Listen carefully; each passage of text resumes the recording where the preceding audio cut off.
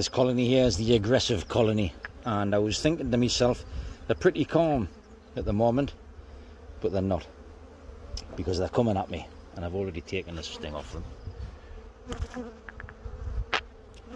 They've had two frames of eggs and larvae from another colony and they didn't have the sense to do anything with it. So I'm going to have to unite these ones with another colony because it's a shame to waste them all really or to shake them out. And I need to do it soon. I'm going to probably do it tomorrow. They've had a feed and there's pollen on them. So they're not shy of, of food really. And they're putting food up in the super as well. But the amount of drones that are in here because we did have a drone laying queen the amount of drones that are in here are just going to eat that food pretty quick. Because they're all emerging so rather than waste time with it tomorrow I'm going to come back up choose a colony and then just get it united with them.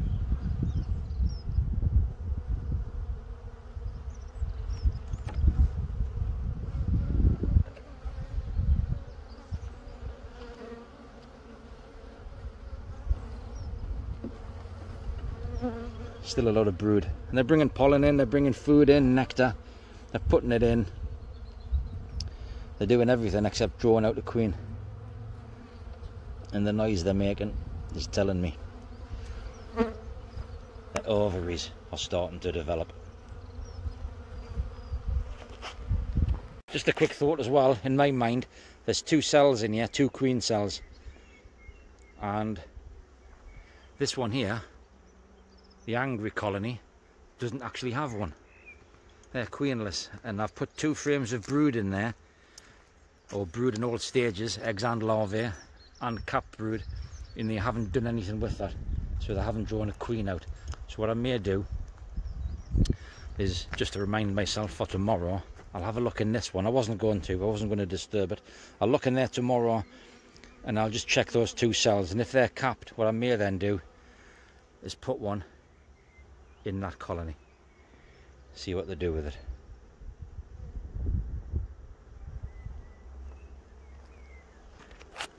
I've just split this colony, which is one of the reasons why I was up here really. I'm leaving them with five frames together and then the sixth frame from the hive, from the original brood box, which this is.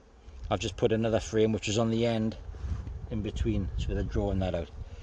They are bringing food in, they are storing it, they're taking syrup down as well, and pollen, and they've kept their room tidy and this frame this one here is the latest frame with eggs and larvae because the one after that was what the queen was on which is let me just check she's not on there before I put that down which is this frame here so she's laying on this one at the moment this one I've taken because they're building this out with wax. Let me see it on it. Let me lift it out. So they'll continue to do that and then she'll have somewhere to lay. She's then going to go up into this commercial brood box which is going to sit on top of a national brood box with a queen excluder in between and then she's going to hopefully continue to lay while the brood on these other frames is going to be sitting in the national hive or the national brood box. They'll then move up to the commercial and then once that's happened I'll then take the national away and put the commercial onto the floor. All being well. So this is them, or the two of them, the first two. There's a brood box with a queen in, queen excluder, brood box, queen in, queen excluder, and the rest of the colony is in the national underneath. The green that you see is a syrup feeder, three and a half gallon syrup feeder, and they're probably both half full. The one on the right I did top up, this one here. This one is half full. I've kind of leveled the pallet off as well. I've dug out a little bit of the ground and the pallet or the water line syrup line in these is now sitting nice and square and I didn't bring an entrance block up with me so I just knocked one up there. The queen goes for both hives really.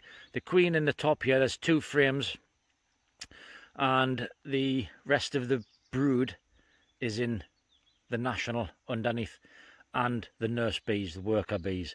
So the bees should still stay down here to protect and keep the brood warm overnight and then they'll also go up because that's where the queen is. Now in the morning they'll come out of here, they'll get these ones excited and interested, there'll be a little bit of movement going up and down so the bees will rotate themselves within this little sort of um, chimney nest as it is now and then they'll come out the entrance, go out, fly, pick up forage, pollen and bring it back. So they'll be feeding what's left of the larvae and the eggs which is in the national hive here and they'll also go up to make sure that the little bit of brood in the frame and what the queen is laying into also has food and then I'll give that maybe three weeks for the brood to emerge from this box and then I'll take this away and all of the bees hopefully then should be up. I shouldn't have any more brood in here because the queen's in the brood box and she can't get through the queen excluder which is here. And then I'll take this national away all the frames the two frames that she's on in here I'll move them to the sides. And it may be that the bees have built a little bit of comb on the underside and there may be drones in there but whatever brood is in those two frames in the center they will just be moved to the side they'll emerge and I'll take them away. And then they'll be all nice new comb in that top box which by then will be on the floor.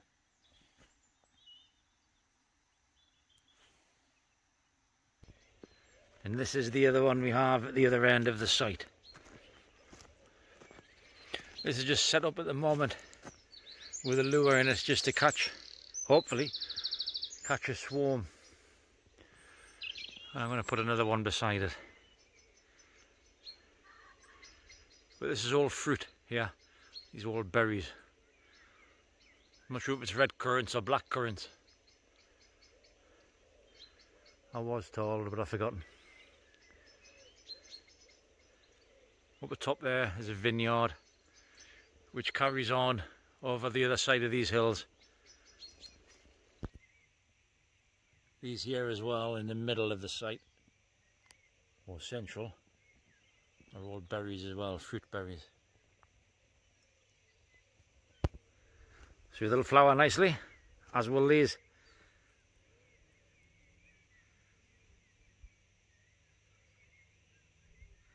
bit of a vegetable garden as well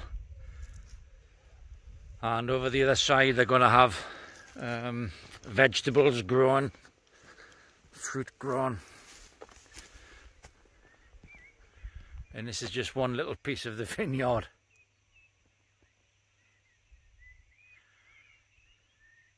Which goes on up and beyond. And then up in there there's apple trees.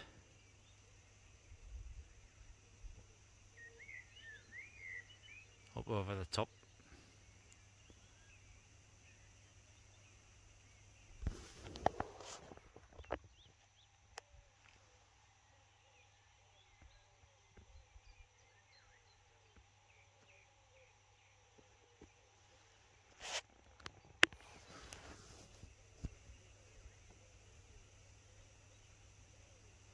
Not quite sure if you can see them to be honest.